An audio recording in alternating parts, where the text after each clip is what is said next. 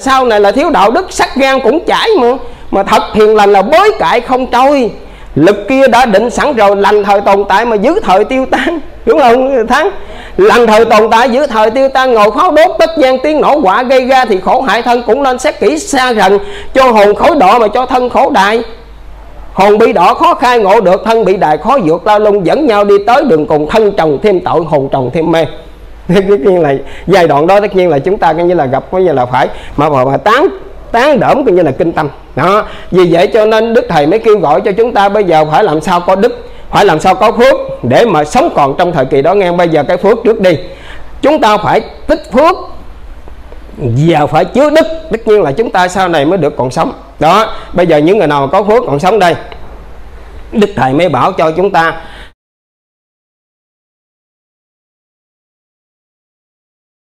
Kính thưa cho quý vị, tiếp theo cái tiêu đề thứ hai mà được đồng đạo nêu lên trong đó bốn câu. Mà trong bốn câu này thì tu kiếp kiếp nếu không quá trễ chúng tôi cũng trình bày nhiều lần, cũng có lên à, mạng lên đĩa. Nhưng mà bây giờ để à, giải quyết cái khúc sau thôi. Cái khúc sau tức là cứu lương hiền, chẳng cứu người hung, kẻ gian ác đến sau tiêu diệt là trong bốn câu này là đồng đạo nêu lên chúng tôi được biết là được trích từ trong quyển nhì á, tất nhiên là cái quyển kể dân của người khùng. Quyển kể dân của người khùng Đức Thầy viết vào ngày 12 tháng 9 năm 1939 Đức Thầy viết ở tại Tổ Đình. Và có tất cả là 476 câu mà đồng đạo trích ra 4 câu cho chúng ta bàn. Thôi bây giờ nói cho nó mau đi bây giờ sơ lược ha đại khái đại loại trong câu đầu là tu kiếp kiếp nếu không quá trễ. Tất nhiên là đức thầy hối thúc nghe chị phượng. Đức Thầy hối thúc Đức Thầy ra đời năm 1939 Đức Thầy kêu gọi cho chúng ta biết vọng lên một cái tiếng chuông cảnh tỉnh. Tiếng chuông ấy là báo động. Báo động cho chúng sanh biết là trong thời kỳ hạ quân mạt pháp này sắp sửa tiêu, Là trái hạ quân sắp rụng Cái cây hạ quân sắp tàn. Hạ quân nay đã hết đời, Phong ba biến chuyển, đổi giờ gia can Tất nhiên là sắp hết.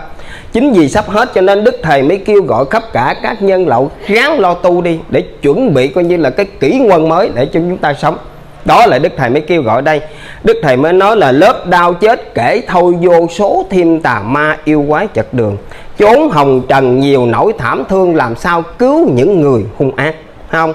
Rồi khắp thế giới cửa nhà tan nát cùng xóm làng thưa thớt quạnh hiu, bấy lâu nay nuôi dưỡng chắc chiêu, nay nay tận diệt lập đời trở lại. Khắp lê thứ biến di thương hải dùng phép màu lập lại thượng quân diệt thiên cơ, khùng tỏ hết trơn cho trần hạ tường nơi lao lý phải không? Như vậy là diệt thiên cơ khùng tỏ hết trơn cho trần hạ tường nơi lao lý. Lão nào có bài điều ma mị mà gạt lượng bổn đạo chúng sanh, đâu có phải là đức thầy gạt đâu. Không? Chính vì trong cái chỗ đó đức thầy mới lần nhiều lần nhiều lần đức thầy mới nhắc nhở diệt thiên cơ khùng tỏ hết trơn. Hoặc giả là thiên cơ ai dám nói thừa mà trong ba tánh chẳng ưa điên khùng. Đúng không? Rõ ràng cái là đức thầy đã nói hết trơn trọi. Đâu còn chỗ nào mà đức thầy coi như là không nói đâu vì vậy cho nên đức thầy mới báo cho chúng ta biết như vậy là chúng ta cố gắng để mà hốt thúc, để lội tu. Đó, vì vậy cho nên chỗ khác đức thầy mới nói là mau mau, kiếp kiếp, chuyên cần. Chúng sanh còn có, lập thân cái hội này. Là chúng sanh còn có cơ hội này để lập thân. Mà bây giờ chúng ta không chịu lập thân, không chịu tu rồi, bỏ hút qua rồi, thì mất. Ừ, cô bác anh em trường đạo. Thì rõ ràng chỗ này coi như là mau mau, ơ, tu kiếp kiếp, nếu không quá trễ, tất nhiên là hối thúc đức thầy hối thúc cho chúng ta lo lo liệu liệu chịu tiếng trần có một. Hội này lập lấy thân, nếu để trễ, chay e chẳng kịp, khuyên ai phía sớm ráng chuyên cần. Có nghĩa là trễ cũng không kịp mà chay cũng không kịp. Tất nhiên là bây giờ chúng ta phải cố gắng cố gắng, nghĩa là tu hành cho nó máu đó, vì vậy cho nên bây giờ là tu kiếp kiếp, nếu không quá trễ, tu là ăn chay nè, tu là cúng lại nè, tu là niệm phật nè, tu làm làm lành nè, tu là bố thí nè, tu là nhẫn nhục nè, tu là giữ giới nè đúng không? Thì bây giờ cái này là phải kiếp kiếp cho mau mới được. Không bây giờ chậm trễ được. Hối thúc cho nó nhanh. Mà giờ chúng ta không nhanh bỏ qua cơ hội rồi tất nhiên là chúng ta khó tìm lại cho được. À, vì vậy cho nên bây giờ chúng tôi xin giải khúc sau thôi. Tất nhiên là cứu lương hiền chẳng cứu người hung. Kẻ gian ác đến sau tiêu diệt mà đồng đạo thắng. Hỏi cái ý. Hỏi tại sao bây giờ đức phật là bình đẳng? Sao thương tất cả các chúng sanh hết mà tại sao đức thầy nói cứu lương hiền? Là thành phần lương hiền được cứu. Còn cái thành phần kẻ hung sao mà ông Phật không cứu bỏ vậy hả? Dầu hung hay là hiền cũng là chúng sanh cũng là Phật tánh. Mà tại sao cái người hung như là không cứu mà bây giờ cứ hiền được cứu? À, cái chỗ này đặt lên vấn đề như là hết sức là đặc biệt. Cô bác anh em chứ đồng đạo. Đó. Vì vậy cho nên ở nơi đây đó là chúng sanh ngang ngược làm liều. Ngọc hoàng ngài muốn xử tiêu cho rồng thấy không? Ngọc Hoàng ngài muốn xử tiêu cho rồi Minh Dương khó đứng khôn ngồi xót xa. Dạ Ngọc bồi hồi tâm trung. Trước đền mắt Ngọc lị rưng quý yêu bá tánh Biết chừng nào ngôi làm sao cho dạ được. Vui cúi đầu bái Phật cầu xin cứu trần. Lời khuyên xưa cũng một lần Nay mượn sát trần xuống bút ra cơ. Đó, vì vậy cho nên nó là chúng sanh ngang ngược làm liều á, là năm 1939 36 là năm ngày tiêu diệt từ năm Bính Tý. Lúc đó là sử tiêu rồi nhưng mà bây giờ là minh dương khó đứng khôn ngồi xót xa dạ ngọc bồi hồi tâm trung trước đền mắt ngọc liệt đương quý yêu bá tánh biết chừng nào nuôi. Làm sao cho dạ được vui vui cúi đầu bái phật cầu xin cứu trần tất nhiên là xin lại xin lại, quản lại. Quản lại coi như là để cho tất cả các chúng sanh trong thời kỳ này, để mà giác ngộ tu coi như là vớt lại được số không? Mà chúng ta không chịu tu, không chịu giác ngộ, không chịu ăn năn hối cải, thì bây giờ đến cái giai đoạn sau là tiêu thiệt tiêu diệt thiệt vì vậy cho nên bây giờ cứu lương hiện chẳng cứu người hung đồng đạo thắng hậu. Hậu bây giờ tại sao không cứu coi như là cái người hiện không cứu cái người à, mà mà mà, mà hung ác mà lại cứu người hiền đó là sao? Thưa chứ quý vị vì vậy cho nên quý vị mình cũng được biết ông Phật á, thì từ bi. Thấy anh chị Phượng? Ông Phật thì từ bi. Cứu độ chúng sanh ở chân trội ha nhưng mà đối với cái nghiệp tạo của chúng sinh tạo ra cái việc ác thì ông Phật cứu không được ông Phật cũng không được, bây giờ tôi ví dụ ở trên thế gian này thôi, đúng không? Ở thế gian này coi như ví dụ như bây giờ ông ăn trộm, ăn cướp coi như là đốt nhà, phá cửa người ta. Bây giờ người ta coi như là công an nó bắt nó đưa vô coi như là trong cái tù, trong cái ngục. Mà trong cái đó coi như là bắt được đâu ba bốn người gì, ví dụ gì đấy nghe. Bắt đầu nó lấy cung, nó tìm hiểu ra cái ông này là chánh nhân nè, cái ông này coi như là rõ ràng, coi như là cái án hình sự của ông, như là ông chính tay ông đốt nhà thiệt sự nè. Rồi cái ông này coi như là trong khi đó coi như là bị nghi hàm quan, mà được bắt đưa vô đó bắt đầu trong khi đó cái đơn ngoài ta bắt đưa vô đưa vô. Trong cái đơn người ta đưa vô để mà ta có một đơn ở trong một số đơn người ta đưa đơn vô ta xin. Ta xin bây giờ trong khi đó là 100 cái đơn ta đưa vô ta xin ta nói thầy ơi, đồng đạo thắng, tối ngày ăn chay niệm phật làm lành không mà mấy ông bắt chị tội nghiệp bây giờ đưa đơn vô đặng xin nghe chị Phượng rồi bây giờ trong coi như là cái ông đó nhà là tư tấn này, tôi ví dụ chứ không phải ông nghe ừ. Cái ông này đốt nhà, phá cửa, giết coi như là người ta nè, rõ ràng, coi như là cái án đâu đó rõ ràng rồi. Bây giờ người ta đưa đơn vô xin bây giờ xin được không? Xin được không ông tư tấn? Cho đến cái ông chủ tịch như là huyện nè, ông tỉnh nó chỉnh xuống mà xin chưa chắc gì xin được. Ông nào dám đứng xin không? Dám đứng xin không? Cái ông này tội hắn hồi đó ràng rồi, bây giờ làm sao mà xin được? Phải không? Đó, thì bây giờ đức thầy cũng bảo cho chúng ta biết cứu lương hiền. Tất nhiên là những người nào mà lương hiền sau này đó, thì ông phật cũng cứu. Phải không?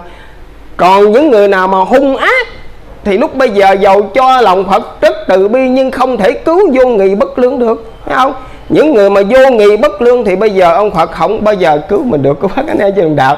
À, chính vì trong cái chỗ này là cái người tu chúng ta đó thì bây giờ chúng ta làm hiền làm lành. Thì sau này chúng ta coi như là có nhân viên với đức thầy với đức phật thì sau này ông phật cũng mới cứu được. Bây giờ quý vị mình nghe vài đoạn đây. Vài đoạn này chúng ta sẽ thấy được coi như là đức phật sẽ cứu người lương hiền mà cái người hung đức phật cứu không có được phải không? Bây giờ thiên hoàng mở cửa, các lân địa hoàng cũng mở mấy tầng ngục môn 10 cửa xem thấy ghê hồn cho trần coi thử có mà hay không. Nhân hoàng cũng lấy lẽ công, cũng đồng trừng trị kẻ lòng tà gian. Không? Cũng đồng trừng trị kẻ lòng tà gian. Ấy là đến lúc xuê sang tam hoàng trở lại là đời thượng ân khuyên dân lòng chớ có sờn, ráng tu thì được xem đờn trên mây. Người hung. Người hung chết đất, chật thay.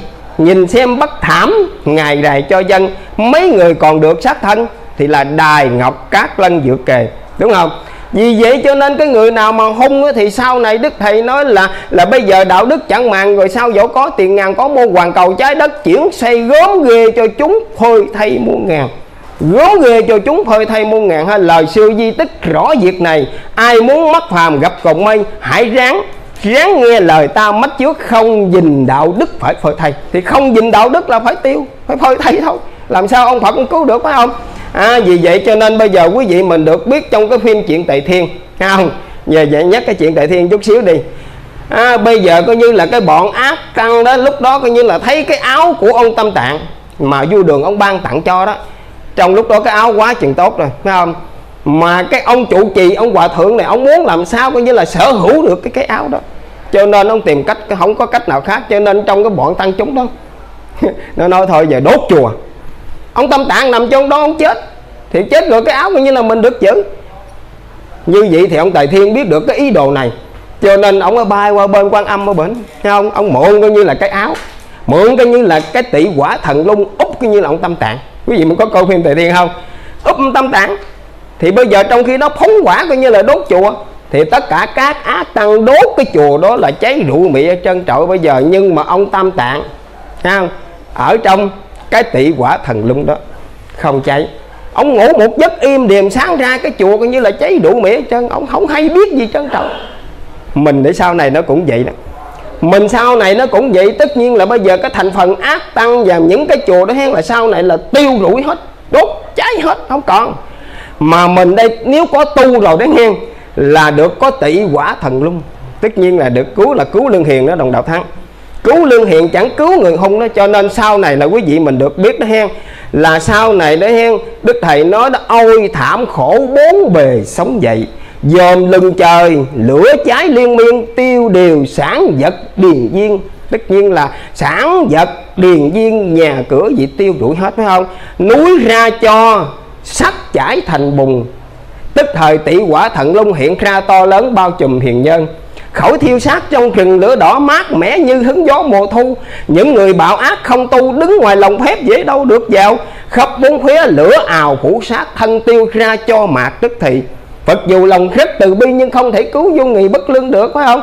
À, vì vậy cho nên những người mà vô người bất lương đứng ngoài lòng phép giống như là ông tâm tạng được cái tỷ quả thận lung ấp cho nên mình được ông tâm tạng được an toàn mát mẻ như hướng gió mùa thu. Còn mình bây giờ nếu mà chúng ta có tu rồi thì sau này có tỷ quả thần luân úp ngang không?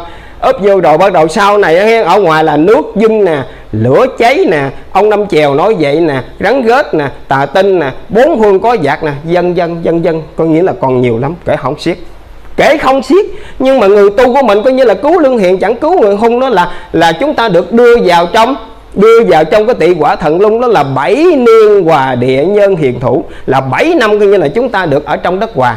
Không chiến tranh không giặc giả không nước dưng không lửa cháy không ông năm chèo và cũng không có à, là hùm beo rắn rết coi như là cũng không có coi như là cái chuyện gì xảy ra. Mà hàng ngày nhờ gì? Là nhờ chúng ta cúng lại nhờ chúng ta niệm phật mà được cái chỗ là chư thần che chở có không? Đức thầy mới bảo cho chúng ta đây làm đường ngay thẳng có thần độ cho. Tất nhiên chúng ta làm đường ngay thẳng đi. Tu hành đi thì sau này có được thần che chở cô bác anh em trên đồng đạo. Hàng ngày chúng ta cúng lại, cầu nguyện đến động tay phật thánh. Riêng mình được cứu ra khỏi cảnh cũng cầu xin ba tánh tai nạn. Khi mưa dầu, có được lỏng tàn. Lúc nắng lửa, có dần mây phủ, có lưới báo ngăn lòi ác thú được xen nâng. Khi phủ nước lên, trên đền cao lại nổi ngọc đền con hiện đức được an thân thể. Đó là cứu lượng hiền chẳng cứu người, không phải không? Không? Còn kẻ gian ác á, là đến sau tiêu diệt. Là những người thành phần ác sau này nó tiêu diệt nhiều cách lắm. Bây giờ kể những cái thành phần tiêu diệt nhiều cách nha. Bây giờ cái người nào mà coi như là hung ác mà bây giờ coi như là làm cái chuyện không lành rồi đó thì sau này đến giai đoạn đó là kẻ tà gian sau bị lửa thiêu. Không? Đây là cái chết cách này. Kẻ tà gian sau bị lửa thiêu người tu niệm sống đời thượng cổ. Đây là cái như là tiêu diệt kiểu này. Còn cái tiêu diệt kiểu khác nữa là đức thầy cho chúng ta biết hổ lan ác thú muôn bầy. Lớp bay lớp chạy sau này đa đoan, ai mà ăn ở nghinh ngang, tiêu diệt kiểu này nữa, đúng không? Ai mà ăn ở nghinh ngang đón đường nó bắt xé tan sát hồn, tiêu tiêu kiểu này nữa phải không? Còn những cái thành phát, thành phần khác cũng như là bị tiêu nữa, tất nhiên là vô hỏng ông năm chèo, là kẻ gian ác bị sao tiêu diệt. Bây giờ mình ăn tất cả các như là là thủy tộc, là đệ tử của ông năm chèo, là con cháu của ổng, thì sau này coi như là ông quốc mình lợi có gì đâu. Ông quốc mình lợi tất nhiên đây là cái vấn đề nhân quả, phải không? Thì sau này đức thầy mới cho chúng ta biết đó là là là con sông nước chảy dòng cầu ngày sau có việc thảm sầu thiết tha. Chừng ấy nổi dậy phong ba có con nghiệt thú. Nuốt mà người hung kẻ gian ác đến sau tiêu diệt đúng không? Nuốt mà người hung đến chừng thú ấy, phục tùng ba gia mới biết người khùng là ai. Đó là kẻ gian ác đến sau tiêu diệt. Tất nhiên là tiêu diệt kiểu này phải không? Rồi những cái thành phần mà tiêu diệt khác nữa hen là sau Nước này mà dâng lên rồi đó cô bác anh em chứ đồng đạo là khắp trời tiếng sấm nổ kinh hoàng. Nước dậy gió đùa sóng phủ lan nước ngập thú hùm trôi lệnh ngễn nhà trôi nhân lội nổi làng khang. Tiêu diệt kiểu này. Không nước dâng lên coi như là tiêu hết. Nhà trôi nhân lội nổi làng khang nhưng mà người hiền là cứu lương hiền đây. Người hiền bát nhã thiền kề rước kẻ giữ mập xà cá đến mang máu vật, máu người làm đỏ nước, chúng sanh khó khó tránh đại tai nạn, đúng không? Vì vậy cho nên sau này là kẻ gian ác đến sau tiêu diệt là vậy. Vì vậy cho nên cái người hiền là được, có như là thuyền, có ờ, có thuyền bắt nhã thiện kề rước mà đức thầy có hứa rồi, có không? Có không chị phượng? Có. Đức thầy mới nói đây, văn thù bồ tát từ bi, chèo thuyền bắt nhã, cứu thì trần gian, gió đưa nước sống bườm loan trước sao? Rước người tu niệm không? Rước người tu niệm mà xuê sang phí tình ai mà ta dạy chẳng dình thì sao đừng trách mất tình yêu đương? À, thì rõ ràng là những người nào mà cố tu niệm thì sau này được đức thầy cứu đó là cứu lương hiền không. Cứu lương hiền chẳng cứu người hung. Không có chỗ nào mà đức thầy nói là cứu ờ, cứu người hung được chứ. Phải không? Cái người hung tất nhiên là sau này coi như là phải bị trả quả mà đức thầy cho chúng ta biết đó là là đến ngày trả quả đó, ầm ì biết bao, mới thỏa cho kẻ khát khao đạo đức, danh thánh, tài thơm được non sông. Thưa chú quý vị, vì vậy cho nên sau này đến cái ngày lập hội là lành bay còn ác lại tồn. Nghe không?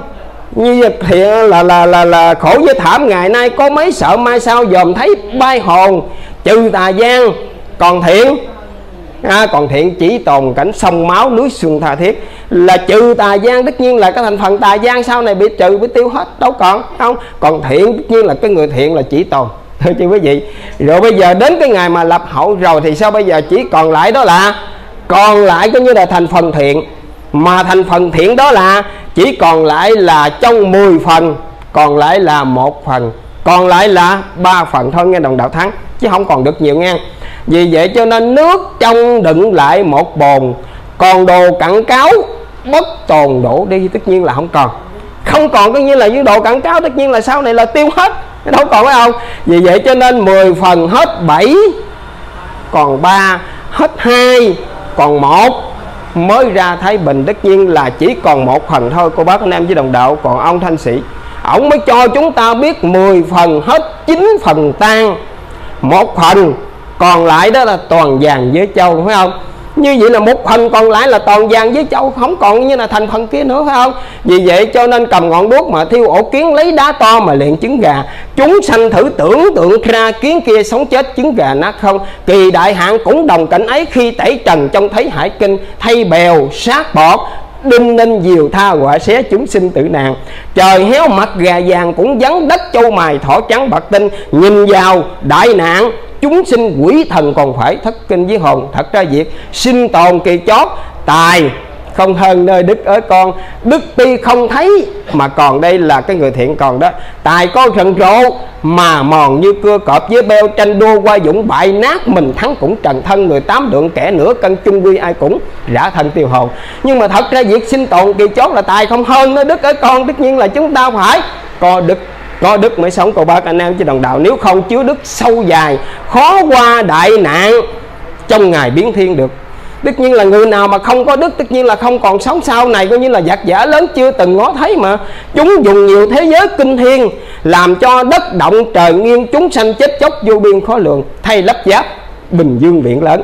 Máu trôi đầy, khắp chốn cùng nơi, còn chi mạng sống người đời. Nếu không trưởng phước, khó ngồi thế gian không có phước đức, tất nhiên là sau này là thiếu đạo đức, sắc gan cũng chảy mà. Mà thật hiền lành là bới cãi không trôi. Lực kia đã định sẵn rồi, lành thời tồn tại mà giữ thời tiêu tan. Đúng không, thắng? Lành thời tồn tại, giữ thời tiêu tan, ngồi khó đốt tất gian tiếng nổ quả gây ra thì khổ hại thân cũng nên xét kỹ xa rần. Cho hồn khối độ mà cho thân khổ đại hồn bị đỏ khó khai ngộ được, thân bị đại khó vượt lao lung. Dẫn nhau đi tới đường cùng thân trồng thêm tội, hồn trồng thêm mê tất nhiên là giai đoạn đó tất nhiên là chúng ta coi như là gặp coi như là phải mà mà, mà tán tán đỡm coi như là kinh tâm. Đó vì vậy cho nên đức thầy mới kêu gọi cho chúng ta bây giờ phải làm sao có đức phải làm sao có phước để mà sống còn trong thời kỳ đó. Nghe bây giờ cái phước trước đi. Chúng ta phải tích phước và phải chứa đức. Tất nhiên là chúng ta sau này mới được còn sống. Đó bây giờ những người nào có phước còn sống đây đức thầy mới bảo cho chúng ta là khuyên người hữu phước giàu sang mau mau làm phước, làm dân cho rồi. Để sao khó đứng khôn ngồi thương nhà tiếc của biết hồi nào nuôi ai mà ăn ở ngược xuôi, bị nơi gắn gích, chẳng vui đâu là.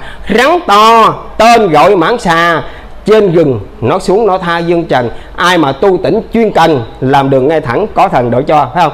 Thì bây giờ cái kẻ gian ác là tiêu rồi bây cái hiền, coi như là được cứu. Rồi chỗ khác, đức thầy lại nói như là người nào mà có phước được cứu nữa nè. Đức thầy nói là khuyên người hữu phước giàu sang, há kêu bớt kẻ giàu sang chứ. Mau mau làm phước, làm doan mới là đến lâm cảnh khổ. Có ta liền đúng không? Đến lâm cảnh khổ có ta với lệnh phật bà cứu vớt dùm cho. Là lâm cảnh khổ là có thầy liền, có bác anh em với đồng đạo. Vì vậy cho nên đức thầy mới bảo cho chúng ta cố gắng làm phước, cố gắng niệm phật. Thì sau này, đến cái cảnh buổi đó, đức thầy sẽ hiện ra để cứu độ cho chúng ta để cô bác anh em với đồng đạo. Đó là chữ lục tự, trì tâm bất diễn. Thì lâm nguyên sao nữa? Hả? Thì lâm nguyên có kẻ cứu mình, đúng không? Nhờ câu nam mô a di đà phật mà chúng ta tu đó sau này chúng ta sẽ được sống còn. Mà đức thầy bảo cho chúng ta đó là chữ được thánh thôi là nhờ chữ nam mô. Khuyên uống đạo ráng mà chị chỉ đúng không? À, hay là chữ nam mô dẹp được lòng sầu sau thì được nhà tiên cửa thánh? Nhờ nam mô a di đà phật nghĩ suy cho cạn sự đời tu là cõi phúc của người trần gian. Dù cho các bậc dạo sang sự tu không có như thoàn nước vô lấy giang hùng dựng cơ đồ không bằng lấy đức đức gì? Đức nam mô xây thành, đúng không? Nam mô a di đà phật xây thành lý là chắc ăn không còn cái gì hơn, phải không? Đó là tất nhiên là được, thảnh thơi là nhờ chữ nam mô, chúng ta nhờ niệm nam mô a di đà phật mà chúng ta sau này được xong đó, cho nên đức thầy mới biết coi như là trong cái cảnh trạng sau này thời kỳ hạ quân mạt pháp này là giặc giả tứ tung. Ha? trần gian là khối lửa thì với đao binh.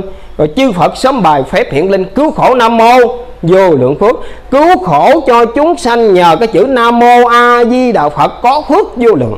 Nhờ cái phước vô lượng mà chúng ta sống được cái cảnh đời thượng quân thánh đức đó nên chân đạo. Đó là cứu lương hiền chẳng cứu người không vậy thì chúng ta cũng nên cố gắng đó là, cố gắng đó là chúng ta phải nên tích đức nghe.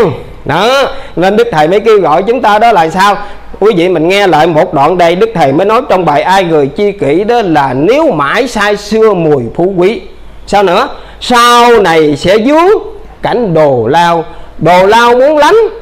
Sớm nghe ta bố thí nè chị trai nè giữ giới mà. Phật đạo trao dồi tâm tánh lại giá thiền chuyên chợ lúc can qua. Bắt đầu tới chỗ này nha, can qua dân chúng chớ buồn lo. Gì nữa? Tích đức đúng không? Tích đức chờ ta chốn hẹn hò. Tiên cảnh phật đài xem rực rỡ hoàn cầu đến đó ấm cùng no. Đức thầy bảo mình tích đức không? Bảo mình tích đức chứ đâu kêu mình tích lúa đâu. Đâu có kêu mình tích tiền, tích bạc đâu. Phải không, đồng đạo? Thắng. Không có kêu mình cái chỗ đó. Vì vậy cho nên đức thầy mới bảo cho chúng ta cái câu này. Đức thầy nói cho chúng ta biết đó nghe, là những cái người nào mà có phước đó, sau này chúng ta sẽ được tồn tại sống còn. Người nào mà không có phước tất nhiên là sau này, tất nhiên đến cái giai đoạn đó là phải bị tiêu diệt của bác anh em chứ đồng đạo. Vì vậy cho nên đức thầy mới kêu gọi chúng ta là gian tà hồn sát cũng tiêu, thảm thương ba tánh chính chiều ruột đau. Tất nhiên là gian tà sau này là tiêu hết, nhưng là sau này chúng ta sẽ mà thấy cái cuộc mà lập hội đến cái thời kỳ đó giống như thời kỳ phong thần.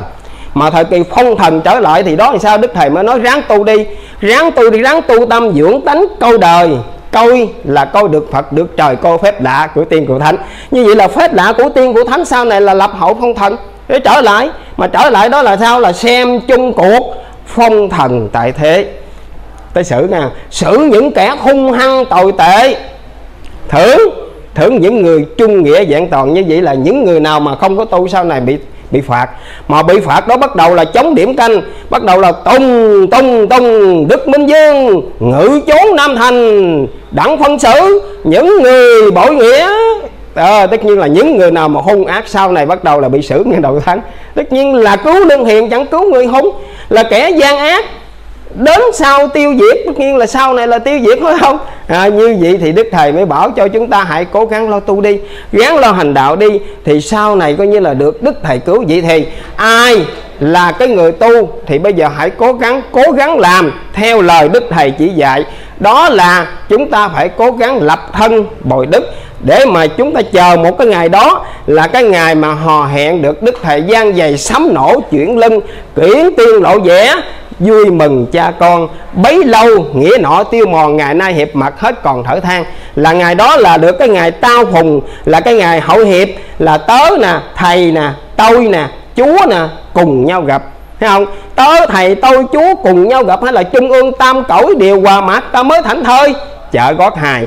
Gót hài muốn chở, phải làm sao? Đạo đức thâm sâu, hãy bước vào, dình tâm nhu nhược, chờ dẫn đến vậy mới rời xa cảnh máu đào. Máu đào khắp nước khổ vô cùng nam việt dân tình mãi thung dung, chẳng lo tu tỉnh, cầu phật thánh, để nước đến chôn. Mới nhảy đùng, mà nhảy đùng á phải lọt ngoài sâu, chẳng gặp xuồng ghe chứng mới gầu làm sao lo liệu tu cho kịp. Không bập bẹ nam mô cũng nhập cầu. Tới chừng đó nam mô nam mô nam mô, a di đà phật, mà nam mô còn bập bẹ bập bẹ, có nghĩa là niệm phật không có rành. Mà niệm phật không có rành cái như là phật làm sao mà cứu được phải không? Vì vậy cho nên thương ba năm không chợ, nhóm chiều nhà không cái ở, niệm nhiều nam mô thay không lấp, mà để phơi khô không nước mà uống nam mô đạo nào không biết đạo nào cho nó mau.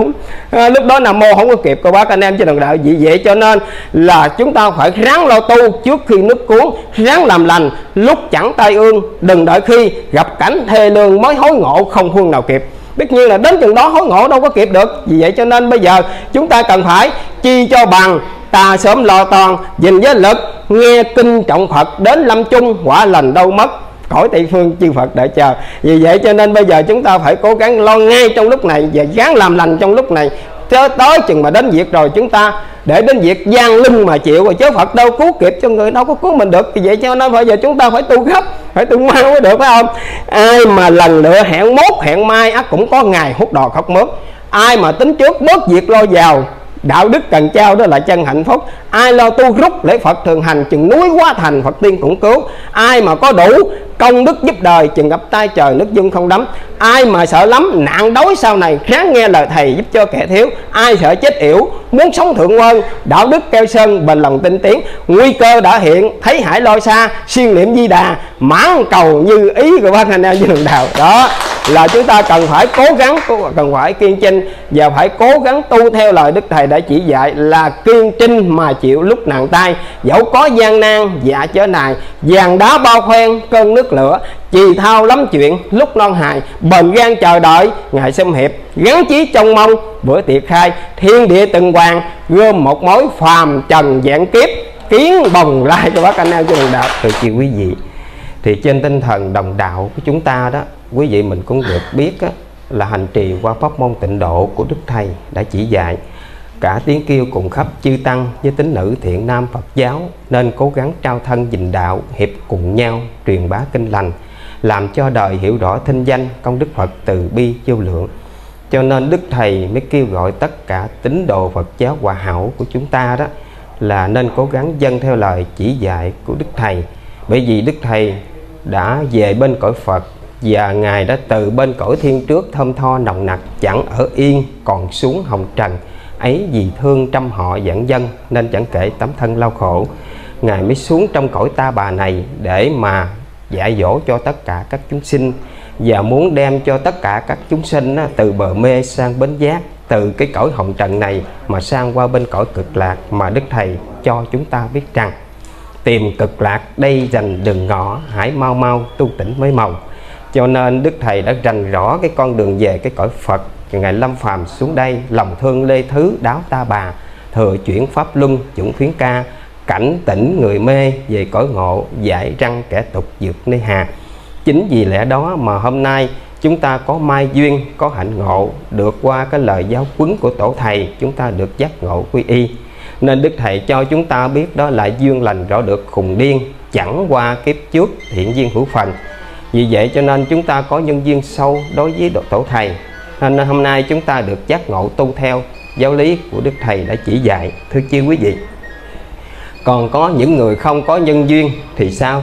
Có nghĩa là có nhiều người đọc sách liền tai, nhưng không hề đọc một bài kệ kinh kinh kệ thấy lòng mình muốn đọc, đã có duyên với Phật xưa rồi. Dịp này nếu để cho trôi sẽ là khó kiếm dịp hồi thiện tâm. Cho nên chúng ta bỏ qua hút trong cơ hội này và không biết chừng nào tìm lại được cái cơ hội quý giá ngàn vàng mà Đức Thầy cho chúng ta biết đó là theo đạo lý nhất tâm mới kịp. Ngày nay đã gặp dịp tu hành, là gặp được cái dịp mà chúng ta tu, mà chúng ta không tu bỏ hút qua thì chúng ta không biết chừng nào chúng ta gặp được. Ngày nay chim đã gặp cành, chẳng lo đậu lại cho rành gió mưa. Là bây giờ chúng ta gặp được giáo pháp, gặp được giáo lý đức thầy là chúng ta rất là may duyên. Quá mê đời diệt đạo bỏ quên, tai hại nặng còn hơn nhà cháy nhà bị cháy còn mong cất lại, mất đạo rồi, biết lấy đâu ra. Bị cháy nhà chỉ khổ đôi ba chứ mất đạo khổ sanh ra vô số. Nhà bị cháy một thời nghèo khổ, mất đạo rồi, muôn thở sầu đau. Nếu có người hỏi tại làm sao đạo phật được quyết cao như vậy? Trả lời rằng đạo qua khổ hải còn đời thì chìm mãi sông mê, gặp đạo rồi mà lại bỏ bê thì kiếp khổ nặng nề thêm nữa. Cho nên chúng ta gặp được cái đạo hết sức là quý giá, thời tiết tốt, mùa màng được trúng tu gặp đường đạo chánh mau nên. Thưa chư quý vị, vậy thì hôm nay chúng ta gặp được cái chánh đạo của đức thầy và con đường về cõi cực lạc mà đức thầy đã dạch nẻo cho chúng ta đi rất là rõ ràng. Chúng ta tu theo đó, chắc chắn rằng là đức thầy sẽ độ trì cho chúng ta trên con đường về tây phương hoặc giả là sau này chúng ta về cảnh đời thượng nguyên thánh đức. Thưa chư quý vị, vậy thì chương trình hôm nay quý vị cho chúng tôi được gặp gỡ cùng với quý vị qua trong cái chương trình để trao đổi Phật pháp thì chương trình trong đó nó có là thuyết trình cũng như là thuyết giảng, là tự chọn cho mình một tiêu đề. Và chương trình thứ hai nữa là chương trình nghi vấn. Nếu như chương trình nghi vấn quý vị cho phép, thì quý vị mình có nghiên cứu, có đọc, có học và có tìm hiểu trong giáo lý đức thầy. Thì sẵn nhân sự tụng sự hôm nay trong cái ngày này là khóa đạo tràng niệm phật. Quý vị mình có thể tạm thời nêu lên trong giáo lý đức thầy hai câu, bốn câu hoặc là trong nội dung rồi chúng tôi cũng nương vào trong nội dung như trên mà bàn cùng tất cả chị quý vị. Rồi quý vị mình lắng lòng theo dõi qua sự trình bày của chúng tôi. Rồi quý vị mình sẽ có trách nhiệm thiêng liêng trách nhiệm ấy là quý vị mình bổ cứu lại những gì mà chúng tôi trình bày còn thiếu sót. Đó là sự khát vọng mong mỏi chúng tôi cùng với quý vị hợp tác để làm cho Phật Nhật được trường quy và Pháp Luân được thượng chuyển và làm cho giáo lý Đức Thầy được truyền bá khắp cả mọi nơi. Đó là công hạnh của quý vị cùng với chúng tôi hợp tác để chúng ta đáp đền ơn tam bảo trong muôn một. Thôi thì lời nói đầu chúng tôi cũng xin tạm dừng và xin trả lại ý kiến của toàn thể quý cô bác anh chị em cùng chỉ đồng đạo và ban xứ ngôn, ban tổ chức nam mô bổn sư thích ca mâu ni phật, nam mô a di đà phật. Nam mô bổn sư thích ca mâu ni phật, nam mô a di đà phật. Kính thưa quý vị đồng đạo xa gần kính mến, kính thưa à, đồng đạo tư. Tôi thì à, xin thưa với quý vị như thế này, thì cũng có biết được đôi chút về à, đạo pháp và những pháp môn. Thì theo nếu mà tôi hỏi pháp môn tịnh độ thì à, tôi đã biết niệm phật như thế nào nhất tâm rồi tôi đã biết. Và hành đạo thiền hành đạo này nọ tôi cũng biết có thể tác chánh đạo tôi cũng biết mười rửa tôi cũng biết tôi có thể diễn giải được tứ âm cũng được. Nhưng mà giờ nếu mà tôi hỏi các pháp môn thì thì à, tôi không hỏi vì gì tôi đã biết. Thì quý vị cũng cho tôi hỏi một cái điều này. Tôi có đọc giảng qua cái đoạn này. Tôi thấy tôi nghiên cứu kỹ đoạn này không có có dạy à, pháp môn nào ạ? À. đâu lát nhờ đồng đạo giảng dùm như thế này là mắt thấy rõ những điều tồi tệ. Tai thường nghe lắm giọng chua người. Nếu đọc hoài tới thì tới cái chỗ dùng nhiều xích mạnh cạnh tranh. Rồi bài xích kẻ tu hành tác phước ra biểu ta tu hành mà tại sao tác phước? Rồi đọc dài dài tới đoạn này tôi thấy sao đâu nhờ giảng viên giải cái đoạn mắt thấy rõ những điều tồi tệ dài dài tới xin thành thật cảm ơn nam mô a di đà dạ. mấy câu hỏi mấy câu luôn đấy ông hỏi hết đoạn luôn đó. Hỏi đi ơi. Là sàn dữ luôn rồi. Hai bốn sáu thôi tám thôi. Đầu một năm mắt thấy rõ nhiều rồi Và kính thưa chư quý vị, à, ban tổ chức cho phép chúng tôi qua chương trình nghi vấn. Thì à, để bắt nhịp cầu giao cảm đầu tiên là được đồng đạo tư tấn nêu lên trong giáo lý Đức Thầy trong một đoạn. Và trong một đoạn đó thì đồng đạo chỉ trích ra hai câu để cho chúng tôi bàn. Và trong hai câu đó là mắt thấy rõ những điều tồi tệ, tai thường nghe lắm giọng ru người.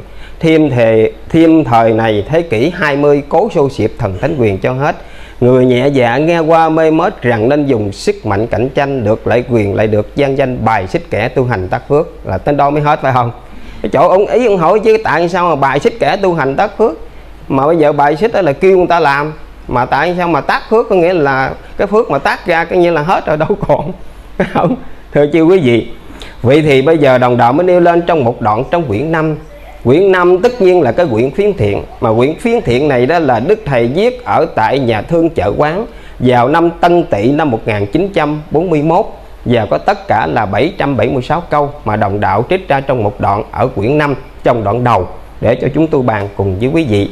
Thưa toàn thể cô bác, anh em chứ đồng đạo, bây giờ đồng đạo mới hỏi qua cái ý, ha, cái ý tất nhiên là cái câu đầu tiên đó, tất nhiên là mắt thấy rõ những điều tồi tệ. Tai thường nghe, lắm giọng ru người. Thêm thời này thế kỷ 20 cố xô xiệp thần thánh. Trong đó có đóng ngoặc là quyền cho hết nhưng mà có đoạn, có bài đó, thì không có để chữ quyền ở trong đó. Thưa chưa quý vị, vậy thì bây giờ đó là đồng đạo mới hỏi chứ mắt thấy rõ những điều tồi tệ là cái gì mà tồi tệ? Rồi tai thường nghe lắm giọng ru người. Con mắt thì thấy mà có lỗ tai thì nghe. Mà con mắt thấy là những điều tồi tệ. Còn cái lỗ tai thì nghe là lắm giọng ru người. Thưa chứ quý vị đó, vì vậy cho nên bây giờ trả lời thẳng cho mau cùng với đồng đạo tấn và tất cả chư quý vị đó, thì Đức Thầy vốn dĩ cho chúng ta biết vào trong thời kỳ này là thế kỷ 20 Mỗi một thế kỷ như vậy đó là 100 năm. Như vậy thì thế kỷ 20 tất nhiên là bắt đầu là vào có thế kỷ là 2000 là 1900 đó, Tất nhiên là bước đầu vào trong thế kỷ của 20 Mà bây giờ ở đây là thuộc về thế kỷ 21 Thưa các bác anh em với đồng đạo. Vậy thì bây giờ ở đây là là thêm thời này thế kỷ 20 tất nhiên là Đức Thầy ra đời năm 1939 tất nhiên nằm trong thế kỷ 20 thưa cô bác anh em chị đồng đạo. Nhưng mà Đức Thầy cho biết á, là mắt thấy rõ những điều tồi tệ. Mà cái điều gì tồi tệ của bác anh em chị đồng đạo? Vì vậy cho nên Đức Thầy đã thấy cho nên ông Phật đã thấy tất cả các chúng sanh là thấy rõ hết tất cả các chúng sanh thấy những điều tồi tệ. Mà cái gì tồi tệ trước hết? Vì vậy bây giờ Đức Thầy mới nói cho chúng ta biết là trong khi lúc Đức Thầy lâm phàm, để độ cho tất cả các chúng sinh trong thời kỳ đó, thì bây giờ Đức Thầy mới thấy tất cả các chúng sanh bỏ hết đi luân thường đạo lý kỹ cương coi như là của cái con người mà không còn giữ được. Cho nên Đức Thầy mới nói là là là bút lông dẹp giới diễn nghiêng, thế vào bút sắt cùng viên mực tròn, lần lần thế đạo suy mòn, nền xưa nếp cũ hỡi còn mấy ai đúng không? Nền xưa nếp cũ hỡi còn mấy ai? Tất nhiên là những những cái nền xưa nếp cũ của thánh hiền, của đức khổng tử ra đời để dạy dỗ cho tất cả các chúng sanh. Không còn. Chính vì không còn đó cho nên đức thầy mới ra đời. Nên ta đem đạo đức duy trì dình tục cổ để người chẳng rõ. Cho nên đức thầy mới dình lại cái tục cổ của người xưa. Cho nên trong khi đó là không có thể coi như là thấy được những cái điều mà con người chúng ta coi như là quá ư là tồi tệ, coi như là bại lý thương lưng là xuống dốc hết rồi thấy không? Vì vậy cho nên bây giờ những cái điều tồi tệ đây, đức thầy mới nói nè. Đức thầy nói trong bài coi như là cho trao lời cùng ông táo là quý vị mình nghe, coi như là cái chỗ này có phải là mắt thấy rõ những điều tồi tệ không? Bây giờ đức thầy nói đây, đức thầy nói là nào hút thuốc huyện hậu ve chai. Có phải không ơi cô? Không, nào hút thuốc huyện hậu ve chai, nào trùm đỉ ma cô nghề hút máu ai để mắt xem đời chu đáo chẳng khỏi than dùm dân tộc quá hư hèn, có phải là mắt thấy rõ những điều tồi tệ không? Không? Rồi diện áo quần son khấn lấn chen, miễn cho mình được lên xe xuống ngựa mãn điểm tô quy hoàng nhà cửa ai khốn cùng để mặt đất trời xoay. Cái này là mắt thấy rõ. Mắt thấy rõ những điều tồi tệ, cái này là quá ư tồi tệ rồi. Rồi bây giờ còn những cái tồi tệ nữa là cũng hiếm lúc con còn giết mẹ dành của tiền cốt nhục giết nhau, tranh lợi danh giết lẫn đồng bào tình huynh đệ phân chia yểm bách. Giết sanh vật đầy lòng kêu cách tưởng rằng mình như thế là ngoan, đó là mắt thấy rõ những điều tồi tệ. Coi như là nó quá ư xuống dốc rồi, quá ư tồi tệ rồi, không còn gì nữa, phải không? Rồi chỗ khác đức thầy lại bảo cho chúng ta đó là văn minh sửa mặt sửa mày, chỗ này tưởng tệ luôn, phải không? Văn minh sửa mặt, sửa mài, áo quần, láng ướt ngày dài ăn chơi, dọn xem hình dốc lã lơi ra đường, ăn nói những lời nguyệt qua trong tâm nhớ những điều tà ờ, trong tâm chứa những điều tà. Lời ăn tiếng nói thiệt là quá lanh, xưng là đầu trẻ tuổi xanh. Chẳng trao hiền đức học hành làm chi phải không như vậy là cái chỗ này coi như là nó quá ư xuống dốc cho nên mắt thấy rõ những điều tồi tệ. Cái này coi như là không còn đạo lý thương lưng gì nữa trân trọng, coi như là bị bỏ xuống dốc hết rồi cho nên đức thầy mới nói là mắt thấy rõ những điều tồi tệ, tất nhiên là cái đạo làm người không còn giữ được. Cho nên đức thầy mới bảo cho chúng ta để hen giống nồi thiệt cốt rồng tiên, phải không? Giống nồi coi như là Việt Nam của chúng ta. Là rồng là tiên, phải không? Con rồng cháu tiên, con hồng cháu lạc, giống hồng lạc, kim chi, ngọc diệp, nay đổ dời. Nhiều sự thấp hèn, có phải là tồi tệ không? Vì vậy cho nên giống nồi thiệt cốt rồng tiên mà nay lạc mất, đúng không? Lạc mất cương hiền nơi đâu rồi, thấy không? Lạc mất rồi không còn coi như là cốt cách của người xưa nữa. Vì vậy cho nên cái chỗ này là mắt thấy rõ những điều tồi tệ. Rồi tai thường nghe lắm giọng ru người. Thưa chú quý vị, vì vậy cho nên cái lỗ tai á, thì nghe cái lắm giọng ru người. Tất nhiên là bây giờ những cái lời mà mà mà đường mật, những cái lời coi như là trao chuốt ở bên ngoài để mà ru người ta đi vào trong cái con đường tà quấy. không, thưa chứ quý vị, vì vậy cho nên quý vị mình biết cái tai thường nghe lắm giọng ru người đấy hen. Thì bây giờ quý vị mình nghe những cái tuồng cải lương không? Những tuồng hát bội, những cái như là cái bài hát không? Những cái bài nhạc, nó toàn là ru người không? Đúng không cô? Ăn gu người không? Nhạc cái gì đâu mà mình không biết cái chuyện gì chân trời mà coi như là nghe nhạc, rồi nó tự nhiên bắt đầu con người mình bắt đầu là đâm chiêu thả hồn. theo cái con đường đó. Cho nên đức thầy nói là cải lương tuồng ấy cũ mềm, tốn tiền buồn ngủ lại thèm đồ ăn, nhảy lui, nhảy tới, lăn xăng làm tuồng mèo mã thêm nhân cho đời. Có phải là lắm giọng trong người không? Làm tuồng mèo mã thêm nhân cho người. Vì vậy cho nên chúng ta nghe những cái tiếng hát, những cái câu như là đời mà nó hát những cái tiếng nhạc rồi đó nghe, là mình mê thấy không? Đi ngoài đường mà nghe nó thăm thầm chịu trôi thèn đất ơi thôi bắt đầu hồn phi tán. À, nghe bắt đầu theo lễ thủy minh dương gì bắt đầu nó nghe rồi tự nhiên là thôi. Không còn cái như là giữ được cái như là cái góc độ mình đó đó đó là tai thường nghe lắm giọng ru người. Rồi bây giờ cái giọng ru người có như là những cái người coi như là để mà có cái quyền cao chức trọng đó là bắt đầu nó tạo ra những điều kiện này, điều kiện kia. Nó làm cho mình chạy theo cái đồng tiền. Nghe đồng đạo? Nghe quý chị mình đó. Tại vì nó có đồng tiền, nó buông ra, phải không? Bắt đầu nó run người, bắt đầu mình mới chạy theo đồng tiền. Dòng đời xuôi ngược, đảo điên đều do cái thứ bạc tiền mà ra nè. Thứ tiền bạc người ta tạo nó, rồi người ta cũng khổ vì tiền. Không tiền nó phải cũng điên, có có tiền nó quấy cũng thiên người. Ừ trâu bò thì bị người xó mũi. Người bị tiền bạc cỡ trên lưng Châu bò chỉ khổ sát thân người thì sát thịt tinh thần khổ luôn. Khổ đến chết chưa buông được nó, Mà nhiều người lấy đó làm dinh tiền, xem trọng nghĩa, xem khinh đời nay thế giới, Chỉ tin đồng tiền, nó buông đồng tiền ra, bắt đầu nó ru mình. Không, nó ru mình bắt đầu coi như là mình cái gì đồng tiền đó, coi như là gái thì bán mất, biết trinh là chạy theo đó, coi như là chinh tiết không còn. Trai thì trộm cướp hoặc sanh dân hùng, nó ru mình bắt đầu vào theo cái chỗ là dư đạn của nó. Phải không? Rồi trong khi đó con người mình không còn giữ được cái đạo lý thương lưng, nghe đồng đạo tư tấn cho nên cái chỗ này rất là nguy hiểm. Chứ quý vị, vì vậy cho nên đó là đức thầy đã bảo cho chúng ta đó là vì đời nay chúng nó dụng tiền, ít ai dụng chữ nhân chữ nghĩa. Có nghĩa là nhân nghĩa nó bỏ hết, không còn không còn cái đạo lý thương linh đó lại lắm giọng của người. Nếu như mà chúng ta là cái người có, mà liêm sĩ có tinh tiết, có đâu đó đàng hoàng, thì sao? Là lòng sắc son dám sánh nổi ngàn vàng, khó mua chuộc những người đầy liêm sĩ cho nên những người mà liêm sĩ tốt đẹp trong sạch rồi không ai mua chuộc mình được chứ trời. Còn những người nào mà mà mà không được giữ được cái lòng đó thì bây giờ bị mua chuộc hết đó là tai thường nghe lắm giọng ru người. Có nghĩa là nó ru mình ru mình vào cái con đường coi như là trụy lạc xa qua đó phải không?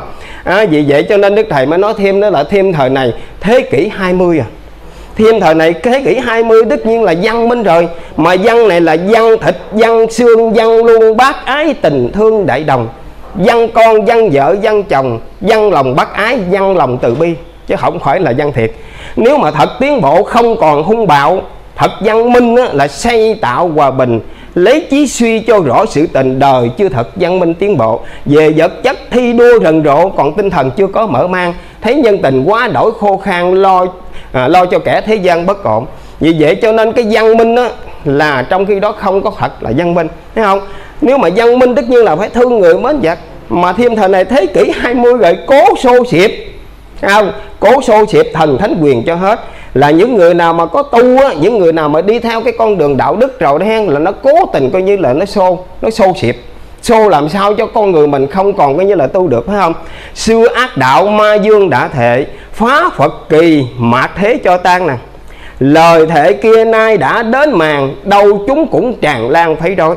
Ngăn ngại kẻ đạo màu rõ lối là người nào đạo màu mà rõ lối là nó tìm cách ngăn, không có cho tu, phải không? Rồi cản trở người tâm tối chưa thông. Cho nên những người mà chưa thông con đường đạo lý bắt đầu là nó ngăn cản. Ở đây là cố sâu xịp cố sâu xịp thần thánh quyền cho hết. Vì vậy cho nên xưa tà đạo bàn môn hóa phật, còn nay vô thần, mưu dứt giáo tông. Cháu không chống nổi xe đồng, phật khuyên con hãy vững lòng độ dân. Đó tất nhiên là cố sâu xịp thần thánh quyền cho hết. Cho nên quý vị mình coi như là mà mà mà đi đám, đi tiệc này kia rồi đó hen. Và những cái thành phần đó đó nó nói coi như là trong khi đó mình nản lòng thối chí nó nó hơi sức nào mà đi như làm từ thiện. Ông đi bắt cầu, ông đi bồi lộ, ông đi thả cá, ông đi núi đi non, phật ở đâu trên mà đi tìm ở trên. Đi thả cá, hỏi bây giờ mà mấy ông làm cái chuyện bao đồng. Làm những cái chuyện đó coi như là không có cái gì là ích lợi trân trọng. Người ta bác mình là như vậy đó. Đó, như vậy thì qua cái câu này đó, đồng đạo mình được biết đó là cố xô xịp thần thánh quyền cho hết. Tất nhiên là nó cố xô xịp. Mà người tu mình nương vào cái con đường đó thì bây giờ nó đã phá. Không? Nó đã phá đủ cách trân trời đang cho mình coi như là nản chí không chịu tu.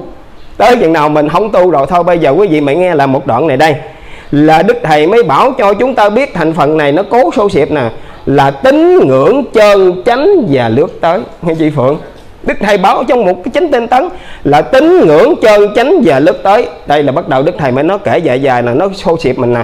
Phái vô thần luận, thường cho rằng thân xác tức là con người, thân còn tức là người còn, thân mất tức là người mất. Không có thánh thần trời phật, không quả báo linh hồi, cũng chẳng có tội, có phước, có vía có hồn đời là thân xác con người sống lại tranh đấu mạnh được yếu thua thế nên biết bao nhiêu mánh khóe dân hùng, biết bao nhiêu ngón đi ngo xảo cháo biết bao nhiêu tàn bạo ngược ngang đều đem được, đều được đem ra dùng cả thái.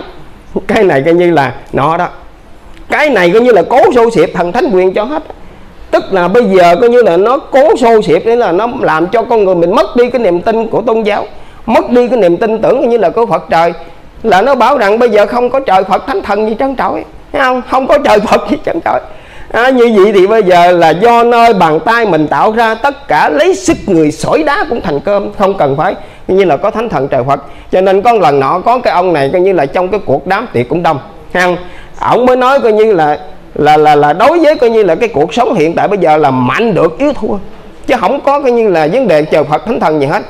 Ổng nó ổng nó tắt ngang vậy đó. Tôi hỏi vậy chứ bây giờ ông là từ đâu đến đây nó tôi thiệt tình với chú tôi coi như là ở ngoài quê tôi đi vô trong đây nè. Tôi hỏi vậy chứ ông ngoài quế ông ngoại ông đi vô trong đây ông đi bằng xe lửa hay là ông đi một ô tô nó tàn đó tôi đi bằng ô tô.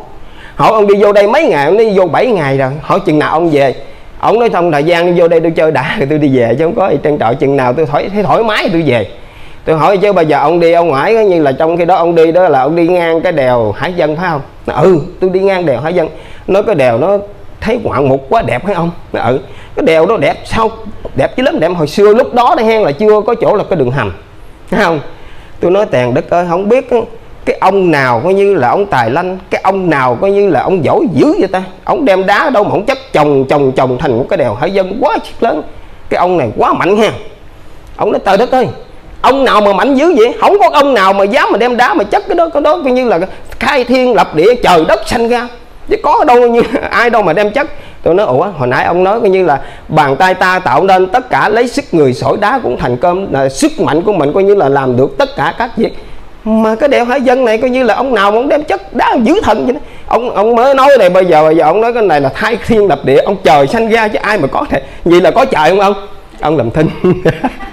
Ông làm thinh ơi, có trời đâu mà tại trong khi đó ông phủ hoàng gì thôi, chứ thật sự đó vấn đề coi như là thiên địa đã tạo ra tất cả các trời đất đều phải có hết, phải không? Nhưng mà cái dạng này nghe em tư tấn cái dạng này người ta không tin tưởng có trời, có phật, có thánh, có thần, đời là sống coi như là mạnh được, yếu thua.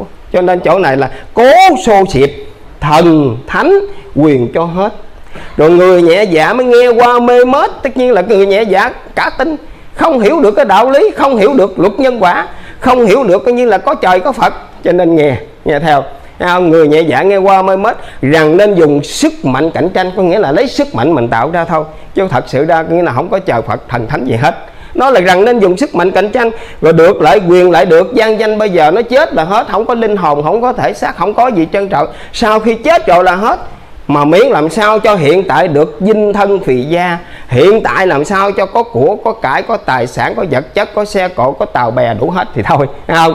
Rồi bây giờ được lợi quyền lại được dân danh hãy có được lợi quyền lại được có tiếng tâm trong thiên hạ vì sau khi chết rồi thôi, chứ không có nghĩ rằng coi như là sau khi chết còn phải có linh hồn. Người tu phật thì tin tưởng có linh hồn, có nhân quả mà cái này không có tin tưởng có linh hồn nhân quả gì hết. Mà nghĩ ngay trong thân xác này hễ coi như là sống tạo ra tất cả rồi khai khi chết rồi là hết. Dứt là mất. Cho nên bây giờ chỗ này được lại quyền lại được chán danh. Rồi tới cái câu này nghe đồng đạo tư tấn. Bài xích kẻ tu hành tác phước. Rồi đồng đạo tư tấn nói chuyện đất ơi bài xích kẻ tu hành tác phước là trong khi đó coi như là là là người ta làm là, là phước là tốt rồi. Mà tại sao như là bài xích? Thưa chứ quý vị bài xích kẻ tu hành tác phước đó là sao? Cái chữ bài tất nhiên là bỏ đi. Những cái gì mà khi người ta coi như là không đồng ý không chấp nhận thì ta nói bây giờ cái này không chấp nhận là bài trừ là bỏ. Bài tất nhiên là bài trừ là bỏ mà xích tất nhiên là ruồng đuổi phải không? Xích là ruồng đuổi là bỏ đi. Như vậy là bài xích có nghĩa là bài trừ ruồng đuổi uh, ruồng đuổi và bỏ đi có nghĩa là không không chấp nhận như vậy thì cái dạng coi như là không tin tưởng trời Phật, không tin tưởng nhân quả, không tin tưởng có linh hồn, thì bây giờ mình làm phước, mình tạo ờ, mình tạo ra coi như là việc lành, thì bây giờ người ta coi như là ruồng đuổi, người ta bỏ, người ta nghĩ nó nói ông làm phước làm gì cho nó mệt nhọc à không? Ông bắt cầu chi cho cực khổ à. Rồi ông tu coi như là hành coi như là hàng ngày ông cúng lại chi cho cực khổ. Bây giờ nó đỡ nghe mấy cô mấy chị mình nghe hồi xưa đó hen, mà mình đi ra bàn thông thiên lại tôi nói, thôi đất ơi, mấy ông lại gốc cây lại có nhầm gì đâu có chuyện gì đâu có gì đâu mà lại. Không rồi mình cúng lại mình niệm phật. Rồi trong khi đó người ta mới bài xích tôi nói tiền nó có hơi sức nào mà ngầu quá niệm phật. Ông ngồi niệm phật đi rồi bắt cái nồi cơm lên đi. Rồi ông ngồi niệm phật cho nồi cơm cho chín ngàn đừng chụm lửa. Đó, người ta bài xích bằng cỡ đó đó. Không có tin tưởng trời phật gì chân trời. Tôi nói tất nhiên là mình muốn có cơm chín là mình phải chụm lửa. Tất nhiên là mình có muốn được cái điều gì kiện tốt đó là mình phải ra công để làm chứ bây giờ trong khi mà bắt cái nồi cơm lên mấy ông ngồi đó niệm phật cho cơm chín ngàn không? Người ta đâu có tin tưởng trời phật gì. Nhưng mà quý vị mình được biết đó là mọi sự vật gì ở trên thế gian này không nằm ngoài trong luật nhân quả được hết. Hãy trồng tre thì có lên măng, làm ác tất phải mang quả ác. Luật nhân quả thẳng tay trừng phạt vô lượng ai tạo tác bất lương. Cho nên bây giờ giàu, nghèo, bây giờ tất cả hay là hay là cái cái thân hình con người của mình tốt hay là xấu, đều có nhân quả hết, phải không? Vì vậy cho nên là kiếp trước mở hồ bao bố thí nên kiếp này địa vị giàu sang. Kiếp này bỏng sẻn tham gian, kiếp sau đói khó nghèo nàn tả tơi. Nghiệp dâm đảng xăm nơi, sanh nơi đỉ điếm nghiệp rượu chè sinh chốn tủ lâu, nói sơ kể chẳng hết đâu, nghiệp đâu sanh đó khó hầu đi sai. Phải không? Mới kiếp trước đánh đòn đứa ở, kế kiếp sau làm tới bị đòn chết rồi, nhưng nghiệp vẫn còn mạnh thì nở trước, yếu tồn lại sao nghiệp luân chuyển bao giờ cho hết, nếu chúng sanh còn kết chi quan, ở trong ba cõi sáu đạn như là giữa vải chiến tràng khác chi không? Như vậy thì rõ ràng con người chúng ta sống trên cõi trần này, coi như là giàu, nghèo hay là thông minh hay là hay là ngu si, hay hoặc giả là con người mình tàn tật, đau bệnh hay hoặc giả con người mình mạnh giỏi đều có, nhân quả hết, phải không? Lưng hồi lộn bẫy, cõi hồng khi cha, khi mẹ, khi chồng, khi con. Tất nhiên là trong khi đó lưng hồi hết, phải không? Vì vậy cho nên biết bao kiếp lên bờ xuống nước, khi thăng tiên, khi đất lại phàm. Lúc người, lúc thú, lam giam kể sao hết cuộc thăng trầm tiền thân như vậy thì cái cuộc linh hồi của con người của mình từ xưa tới giờ là không biết bao nhiêu lần rồi đâu phải không có đâu. Mà đức thầy cho chúng ta biết đó là vô lượng thứ ở trong thế giới là không biết bao nhiêu lần ở trong cõi đời này chứ đâu phải là không có. Như vậy thì đức thầy à, xác định cho chúng ta biết đó là luật nhân quả thật là cao diện suốt cổ kim chẳng lọt một ai vậy ta nên làm việc thẳng ngay cứ bệnh chí có ngài thông thả đúng không? Thì rõ ràng coi như là cái câu này đức thầy đã có lực nhân quả nói lực nhân quả rõ ràng đức phật cũng nói lực nhân quả rõ ràng. À, như vậy thì bây giờ hãy chúng ta làm bất cứ một điều gì đều cũng có nhân quả hết nhưng mà có chỗ này nó bài xích kẻ tu hành tác phước. Là mình làm phước làm nhân mà bây giờ nó bài xích như nó nói hơi sức nào mà ông làm phước lúc đó tôi hốt thuốc nam. Ha rồi chính quyền lúc đó mới mời tôi làm việc. À, nó hỏi tu một câu hỏi chứ anh là hốt thuốc nam cái là mục đích anh để làm gì? Tôi nói hốt thuốc nam, mục đích là giúp sức khỏe cho bà con. Tại vì bà con nghèo không có tiền để mà trị bệnh. Nó không phải tôi hỏi cái chỗ này, mà mục đích của anh hốt thuốc nam để làm gì? Rồi cuối cùng nó trả lời câu biết sao không? Hơi sức nào mà anh làm việc là bao đồng. Hơi sức nào mà làm việc cái tàu lao. Cái chuyện này coi như là làm là có ích lợi gì? Tôi nói bây giờ trên xã hội này, hễ con người thì phải biết thương người. Mà mình hãy thương người, tất nhiên là tương thân tương trợ lẫn nhau. Cái chuyện đó là bốn phận tôi làm. chứ đâu có phải gì cái như là là là anh nói như vậy đó, thì cái chuyện của anh. Còn cái chuyện của tôi thì bây giờ cái chuyện bổn phận của người tôn giáo là phải như vậy. Thưa quý bác anh em trên đồng đạo đó như vậy cho nên bài xích kẻ tu hành tác phước tất nhiên là tất cả những ai mà làm phước làm nhân thì bây giờ nó nghĩ rằng cái việc làm đó không có cái như là tương lai gì hết. Bài xích kẻ có nghĩa là trong khi đó nó là bài xích nó chia bay hết. Không cho ai coi như là làm một cái điều kiện đó hết. Nhưng mà sở dĩ là bây giờ có một cái số người bây giờ nó công nhận cho mình vấn đề mà làm phước đó là chi? Tất nhiên là ở đây làm phước người ta không dùng danh từ làm phước, mà ta nói là ở đây là làm cái công tác xã hội. Công tác xã hội thôi, tất nhiên là xây dựng quê hương, cầu đường này kia đồ, mình hợp tác đó để mình làm xã hội chứ ta không có nói là mình làm phước. Còn mình nghĩ đây là mình làm phước tư tấn. Mình làm phước, tất nhiên là mình nghĩ rằng tương lai, tất nhiên là sau này chúng ta sẽ được hưởng phước. Mà nghe lời đức thầy chỉ dạy đó là là muốn cho rắn đặng quá cù xả thân làm phước thì diêm phù vượt qua. Là mình nghĩ làm phước sau này là mình có hưởng được phước. Nhưng mà đối với cái thành phần đó không có đạo đó. Thì người ta cho rằng ở đây coi như là làm việc công tác xã hội là tích cực làm với nhau, xây dựng quê hương đất nước thôi. Thật sự ra không có phước gì hết. Thưa chứ quý vị, vậy thì bây giờ cái đoạn này coi như là anh tư tấn hậu một đoạn dài. Bài xích kẻ tu hành tác phước. Làng sống ấy, nhiều người đón rước. Tất nhiên là bây giờ nó chạy theo con đường này này làng sống ấy tất nhiên cái làng sống văn minh vật chất này. Là bây giờ nó như vậy đó. Nhiều người đón rước mà dục dân tâm sôi nổi tràn trề cổ tục nhà phỉ bán kinh chê cho tôn giáo là mùi thuốc phiện. À, cho nên cho tôn giáo tất nhiên là cái mùi thuốc phiện. Ai nếm vào ắt là phải nghiện chẳng còn lo trang dọ đấu chinh. Cho nên đó là nó cho cái là cái người vô trong trong đạo mình hay là cái người tôn giáo là thuốc phiện đó. Ai vô ghiền ai vô nhiễm hả? Không. Vô ghiền vô cái nhiễm tất nhiên là cái người vô tôn giáo rồi đó quý vị mình được biết đó hen không có sợ nghèo, không có sợ chết, không có sợ đau sợ bệnh, không sợ, không lo việc đối nghèo rách rưới không sợ điều bất lợi bất lương, mà là trong khi đó cái người tu mình coi như là sợ cái gì biết không? Sợ nhân quả. Thưa các bác, anh em trong đạo, vì vậy cho nên đức thầy mới nói cho chúng ta biết nè, sợ nhiều kẻ dạo buồn đổi chí quên những câu chánh kỹ quá nhân, tất nhiên đức thầy sợ sợ cho cái việc đó thôi. Cho nên không có sợ coi như là nghèo, không sợ đói, không sợ chết chóc. Bởi vì mình nghĩ rằng là thân xác của chúng ta chết rồi, tất nhiên là thị tử như như quy tận gia. Cho nên sau khi chúng ta bỏ xác rồi thì chúng ta sẽ được có có cái nhà mới. Vì vậy cho nên màu nhiệm thai khi tỏ ngộ tâm, thấy rõ cái sắc phạm như áo, lành thì mặc rách thì phải tháo, không sợ lo, không có tiếc than chỉ bỏ thân tạm giả trần gian, chứ thân tướng kim cang còn mãi. Thân đó mới là thân tồn tại, đó mới là chính cái thân mình. Còn cái thân khi chết là sình nó là bóng của thân chân thật. Bóng thì mất, chứ thân không có mất. Thế cho nên chẳng chút lo đầu mượn giả thân để lập đạo màu sông rồi trả cho đâu ra đó. Thân là bè trước sau phải bỏ, để trên bờ hầu có quy hương. Bè đã tan, người chẳng tổn thương, vì vậy đất coi thường cái chết đúng không? Vì vậy rất coi thường cái chết là mình là không có sợ gì trắng trọng còn người ta coi như là sợ sợ chết dữ lắm. Sợ chết cho nên người ta mới lo coi như là là thuốc men coi như là đầy đủ ở trân trọng để lo cho thân xác của mình. Nhưng mà cuối cùng rồi, thì đến cái phút lâm chung rồi, khi số vô thường đã tới, là mua ngàn kinh hải thần trí hôn mê rất chiếu mến cõi đời cửa nhà con vợ mà không sao làm sống sống được nữa. Nên lúc ấy kẻ phùng mang trận mắt, chắc lưỡi nghiến răng lăn lộn, giật mình kêu than thảm thiết. Có phải là sợ không? Người ta coi như là chết, người ta sợ lắm. Còn người tu chúng ta coi như là sau khi đến phút lâm chung rồi, thì mình coi như là có cái nhà ở bên kia rồi. Thì bây giờ mình khỏe khỏe khỏe. Cái nhà này có sập bỏ thì bây giờ mình có cái nhà khác ở. Có gì đâu sợ.